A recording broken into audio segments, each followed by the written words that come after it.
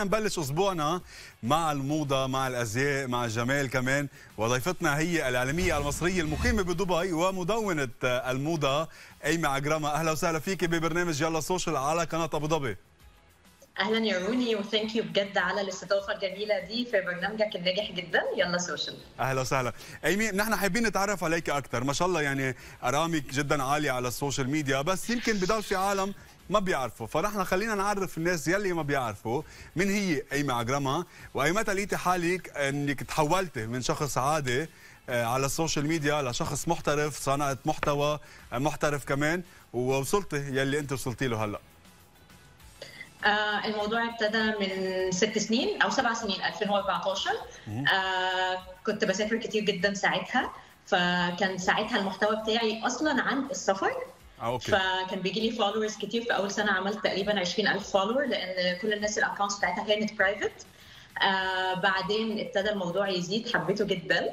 ابتديت أهتم أكتر بإن المحتوى بتاعي يكون عن أكتر حاجة بحبها اللي هي ال fashion. آه ومن أربع سنين تقريبا ابتديت الموضوع professional آه مع شركة شركة marketing و influencer sponsorship طب أيمي عفوا آه، هل شغلك الأساسي هو اليوم ال social media؟ آه هو اللي أنا بعمله آه بعمل حاجات كتير. okay. أنا TV presenter و personal stylist بعمل personal. styling sessions ل private clients وكمان في ال social media بعمل استشارة لشركات ال e-commerce وال fashion أنا اللي بظبط لهم ال social media strategy بتاعتهم وال content strategy طيب أيمي آه، يمكن في كثير عالم آه، بيتابعوا البرنامج أو بيتابعوا ال social media. بيقولوا إنه طب صار في كثير bloggers صار في كثير fashion bloggers بالدول العربية وبكل العالم. بس خلينا نحكي عن الدول العربية. آه، برأيك أنت شخصيا شو يلي بيميزك عن غيرك وشو يلي يفترض ان ال fashion blogger تتميز عن غيرها؟ بشو؟ هو أنا بتميز وغيري بيتميز. كل حد فينا عنده صح. حاجة بتاعته هو. آه، أهم حاجة بس في كل حد فينا اللي هتميزه هي شخصيته. آه، هو بيتعامل إزاي بيتكلم مع الناس إزاي. آه، الشخصية هي اللي بتفرق. أنا م- م- ماني ماني بعيد عن الموضوع متابع كثير منيح ولكن دائما عندي هيك آه، تساؤل صغير. شو الفرق بين مدونة الموضة ال fashion blogger وبين الفاشينيستا يعني الفاشينيستا آه، شو بتعمل؟ وال fashion blogger شو بتعمل؟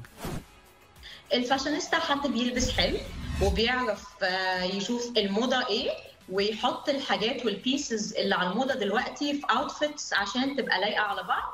فالناس بتدخل عندها تشوف هي بتلبس إيه عشان ياخدوا منها أفكار. مدونة الموضة اللي بتكتب عن الموضة. آه، آه، مثلا إن إن إحنا دلوقتي في الشتاء مثلا اللي في شتاء 2021 هو اللي على الموضة. آه، تشتروا إيه منين recommendations فمدونة الموضة بتكتب أكتر. okay. آه، اليوم عم نحكي عن الموضة وشو دارج والألوان وهالأمور. مين مين يلي مين يلي بيقول شو دارج؟ مين يلي بي- بي- بيقرر؟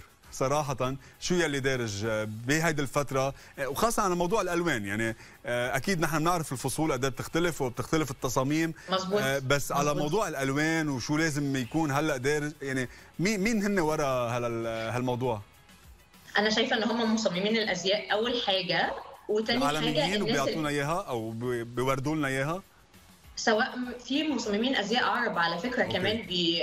الناس بتمشي على موضة الحاجات اللي بيعملوها. الموضوع إن هو مش بس المصممين المصمم يعمل حاجة ولو هي ناجحة وعليها إقبال تبقى هتبقى موضة. حلو. رح نرجع نحكي شوي عن الموضة وعن أنت اختيارك للتصاميم أو للثياب يلي آه، بتلبسيها ويلي بتنشريها كمان على على إنستغرام. بس أنا بدي أعرف بال- okay. بالأول شو هي آه، المعايير يلي بتعتمديها لتنزلي post معين؟ لأنه لاحظت من خلال حسابك على إنستغرام بالذات إنك ما بتنزلي صورة إلا إلا عن دراسه يعني.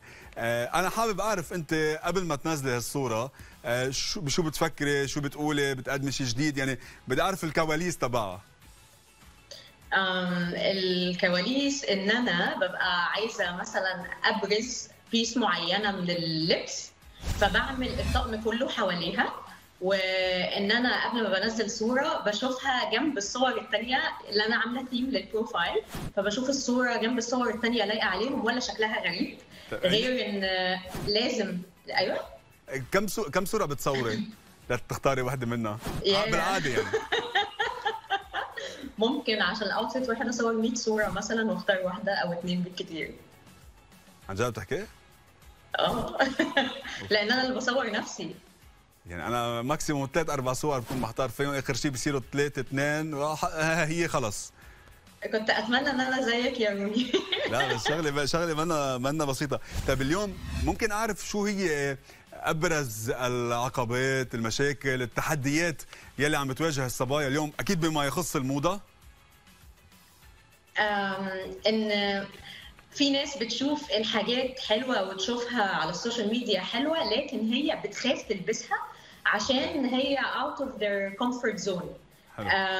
زي بنات كتير بيروحوا يعملوا shopping دايما بيجيبوا نفس الحاجة عشان هم شايفين إن هم مرتاحين فيها وجربوها قبل كده لكن عمرهم ما بيكون عندهم الجرأة أو هم بيبقوا عايزين يجربوا بس خايفين. الحاجة الثانية فأنا بقول لهم ما تخافوش وحاولوا تطلعوا بره الشخصية اللي أنتوا حاطينها لنفسكم وجربوا حاجات كتير وما تحكموش عليها غير لما تلبسوها وتشوفوها على نفسكم. بتخيل الموضوع بده شوية جرأة يعني خاصة عند الصبايا. وخاصة بوجود ال social media. يعني أنا بعرف قد إيه اليوم يعني نوعا ما صاروا صاروا متأثرين.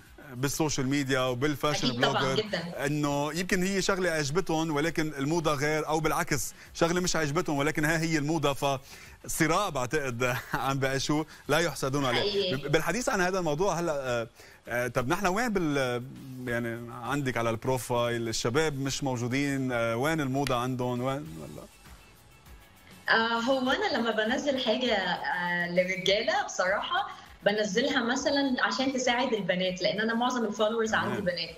يعني مثلا فترة الفالنتاين كنت عاملة زي gift guide آه على ال stories إنه إزاي إيه الهدايا الحلوة اللي البنات ممكن يختاروها للرجالة آه وتكون بأسعار كويسة. هي دي الحاجات بصراحة اللي أنا بنزلها للرجالة. وكمان النصايح بتاعه ال fashion بتاعه إزاي تعمل shopping آه خلي عندك open mind أفتكر دي تنفع للبنات وللرجالة الاثنين يلا هيدي دعوة كمان إنك تتشجع وبتبلشي تحكي أكثر عن الشباب. أه سؤال بس أخير. ده أكيد. لا لازم والله. أه سؤال أخير قبل ما نختم إيمي. أه بظل جائحة كورونا قدرت إنك تنقلي عملك ويصير بمعظمه أونلاين. أكيد هذا شيء طبق على كثير من المجالات. أنا بدي آخذ أنت مجالك. صار عندك موقع إلكتروني كمان عم تتواصلي فيه مع الناس أكثر خبرينا شوي عن الاستشارات يلي بتقومي فيها أونلاين لأنه يعني الموضوع كان مبني قبل على العلاقة الشخصية على ال face to face على يعني في في قصص يعني بتختلف صراحة وخاصة بالموضة. انت قد إيه عم تقدري قد ما فيك انك نوعا ما تقربي وجهات النظر اونلاين هو انت ك stylist أو personal shopper أول حاجة بتعملها وده من قبل حتى موضوع كورونا وإن كل حاجة تكون اونلاين بتحاول على قد ما تقدر تفهم اللي قدامك فأنت بتلبسه الحاجات اللي مناسبة لجسمه بس على شخصيته هو وتكون trending لأن أنا لو قعدت ألبس الناس الحاجة المناسبة ليا أنا أول ما هيجيبوها عندهم في البيت مش هيلبسوها أصلا صح. لأنه مش هيحسوا إن هم مرتاحين فيها آه ومش هيشتغلوا معايا تاني وأكيد أنا مش عايزة أخسرهم فأنت okay. أول ما بتعمل training أو internship إن أنت personal stylist أول حاجة بيعلموها لك إن أنت تكون عارف إيه اللي على الموضة وإيه اللي مناسب للأجسام المختلفة وللشخصيات المختلفة. فاللي بيحصل إن أنا اونلاين بيبعتوا لي request ببعت لهم أسئلة. هم بيقضوا معظم وقتهم فين؟ إيه الألوان اللي بيحبوها ما بيحبوهاش؟ إيه نوع القماش اللي ما بيحبوهوش؟ كل حاجة بيرتاحوا مثلا إن هم يلبسوا جزمة بكعب ولا لأ. فكل ده بيساعدني أكتر إن أنا أعرف أختار لهم ال pieces المناسبة ليهم واللي هيحتاجوها واللي هيلبسوها. فاللي بيحصل إن أنا بدخل اونلاين على website وببقى عارفة ال budget بتاعتهم قد إيه ببعت لهم links للحاجات اللي هتكون مناسبة ليهم. وهم هي... وبصور لهم مثلا في صورة بحط لهم الحاجات صورة الحاجات مع بعض ده هيتلبس مع إيه وده هيتلبس مع إيه مثلا؟ وببعتها لهم فهم بيطلبوا الحاجات وبعد كده بيصوروا لي على نفسهم بقول لهم مثلا آه ده ده رجعوه وده خلوه وكده. يعني okay. حلو. آه بدنا نواكب كل التغييرات يلي عم. بتصير كل الظروف. يلي حكمت علينا إنه إنه مثل هلا الحديث بيني وبينك يكون آه، اونلاين عبر الفيديو بدل ما تكوني معنا بالاستوديو وأنت كمان وكل واحد بمجاله يمكن كمان آه، اضطر إنه يواكب الظروف. الأهم إنه نضلنا مستمرين وهذا الشيء اللي بنتمنى لك إياه آه، إيمي إنك تضلك مستمرة آه، تضلك بنشاطك كمان. وأنا بدي اتمنى لك توفيق. thank you روني وأنا كمان. وإن شاء الله المرة الجاية هقابلك في الاستوديو مش هيكون أهلا وسهلا شكرا لك. أهلا وسهلا فيك شكرا. ميرسي يا روني يلا. bye